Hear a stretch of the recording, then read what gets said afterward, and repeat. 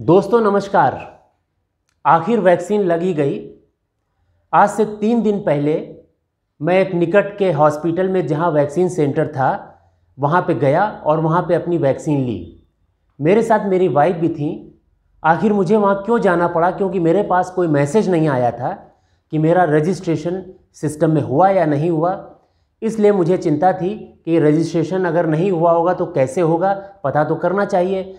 तो मैं अपने नज़दीक के वैक्सीनेशन सेंटर में गया और वहाँ पे पता किया तो मालूम पड़ा कि मेरा नाम तो सिस्टम में है, लेकिन वाइफ का नाम सिस्टम में नहीं है, क्योंकि मेरे पास पैन कार्ड और आधार कार्ड थे, इसलिए वाइफ का नाम ऑन द स्पॉट सिस्टम में डाल दिया गया।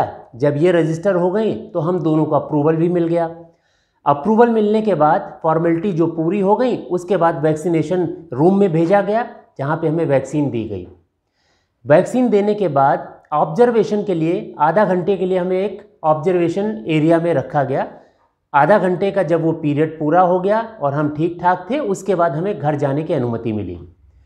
तो ये जो प्रोसेस है वैक्सीन लेने का, इसको लेके लोगों में बहुत चिंताएँ हैं। मैं आपको बताता हूँ कि वैक्सीन कैसे मिली और वैक्सीन लगने के बाद क्या इफ़ेक्ट और क्या साइड इफ़ेक्ट मुझे महसूस हुए। जैसा कि मैंने आपको बताया कि रजिस्ट्रेशन ना होने के बावजूद ऑन द स्पॉट रजिस्ट्रेशन हुआ और ये फॉर्मेलिटी वहीं पर पूरी हो गई। तो ऐसे लोग जिनका रजिस्ट्रेशन नहीं है, वो आधार कार्ड, पैन कार्ड आदि लेकर सेंटर पर जाएँ और वहाँ पे उनका रजिस्ट्रेशन हो जाएगा और वैक्सीन भी मिल जाएगी। रजिस्ट्रेशन होने के बाद जब हम वैक्सीन रूम में गए तो वहाँ पे जिस नर्स ने वैक्सीन लगाई, बहुत ही स्मूथ प्रोसेस था। पता ही नहीं चला वैक्सीन कैसे लग गई और लगने के बाद फिर हमें ऑब्जर्वेशन एरिया में आधा घंटे रुकने के लिए बोला गया। आधा घंटे पूरा होने के बाद हम घर चले गए। एक दिन के बाद, यानी कि करीब 20 से 25 घंटे बीतने के बाद, जहाँ पे इंजेक्शन लगा था, उस जगह पे थोड़ा सा दर्द आरंभ हुआ। और दर्द के साथ साथ अनिजीनेस थी, कमज़ोरी थी, ये स्थिति अगले एक दिन और रही, यानी कि दो दिन तक मुझे उस जगह पे दर्द हुआ और थोड़ी थकान महसूस होती रही। आज जब मैं आपसे बात कर रहा हूँ, मैं बिल्कुल ठीक हूँ, कोई दर्द नहीं है और मैं बिल्कुल पहले जैसा हेल्दी फील कर रहा हूँ। तो जैसा कि मैंने कहा कि जो सबसे बड़ा कंसर्न था, वो वैक्सीन की सुरक्षा को लेकर था। ये मैंने खुद भी महसूस कर लिया। मुझे सैकड़ों हज़ारों डॉक्टर्स के फीडबैक भी मिले हैं सोशल मीडिया के माध्यम से। वैक्सीन की सुरक्षा को लेकर अब कोई प्रश्न चिन्ह नहीं है। ये वैक्सीन सुरक्षित है। जिनका भी अपॉइंटमेंट का नंबर आता है, उन लोगों को अपने तय समय पे नज़दीक के सेंटर में जहाँ भी वैक्सीन लग रही है, जाना चाहिए और इस वैक्सीन को लेना चाहिए। जिनको वैक्सीन जल्दी लेनी, चूँकि अभी बहुत सारे स्लॉट खाली पड़े रहते हैं, हंड्रेड परसेंट लोग नहीं आ रहे हैं।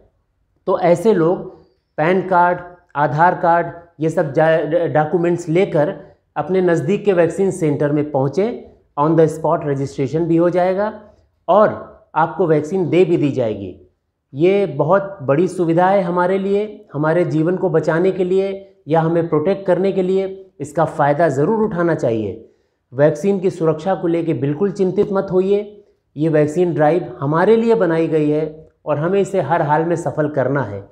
अगर आपको फिर भी इसकी सुरक्षा या इसके तमाम दूसरे पहलू हैं, उनसे लेके कोई संशय है, कोई शंका है, कोई प्रश्न है तो आप मुझे क्वेश्चन पूछ सकते हैं, मुझे मेल कर सकते हैं या कमेंट बॉक्स में जाके कमेंट कर सकते हैं, मैं सबको उसका उत्तर दूँगा। दोस्तों, मेरी ये छोटी सी कोशिश है अपना एक्सपीरियंस आपके साथ शेयर करने की, जिससे आपके मन में अगर डर है, वो डर निकले। तो कृपा करके वैक्सीन ज़रूर लीजिए। इससे डरने की ज़रूरत नहीं है। ये बहुत ज़रूरी चीज़ है। ये हमारे आपके लिए और हमारे देश को बचाने के लिए एक बड़ी मुहिम है और हमें इसका साथ देना चाहिए।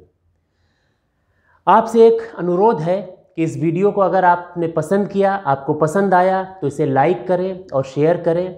साथ साथ मेरे चैनल को भी सब्सक्राइब करें। और इस चैनल में एक कॉर्नर पर जो घंटी की बटन है, घंटी का जो आइकॉन है, उसको प्रेस करें। इससे आपको हमारे नए आने वाले वीडियो की जानकारी समय समय पर मिलती रहेगी। आपने हमारे पिछले दो वीडियो बहुत पसंद किए, उसके लिए आपका बहुत बहुत शुक्रिया।